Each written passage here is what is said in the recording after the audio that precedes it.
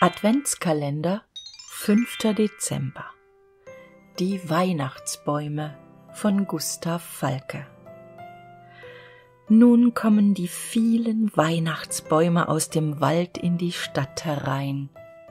Träumen sie ihre Waldesträume weiter beim Laternenschein?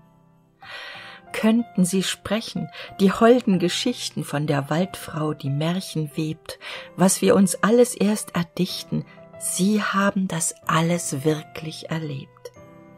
Da stehen sie nun an den Straßen und schauen wunderlich und fremd darein, als ob sie der Zukunft nicht recht trauen. Es muss da was am Werke sein. Freilich, wenn sie dann in den Stuben im Schmuck der hellen Kerzen stehen und den kleinen Mädchen und Buben in die glänzenden Augen sehen, dann ist ihnen auf einmal, als hätte ihnen das alles schon mal geträumt, als sie noch im Wurzelbette den stillen Waldweg eingesäumt.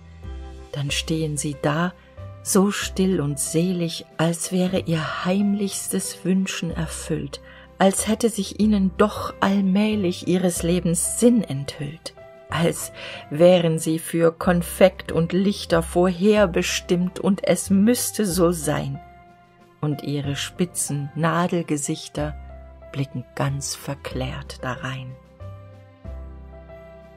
Einen schönen fünften Dezember und nicht vergessen, Weihnachtsbaum auf die Einkaufsliste setzen. Tschüss bis morgen, eure Eva.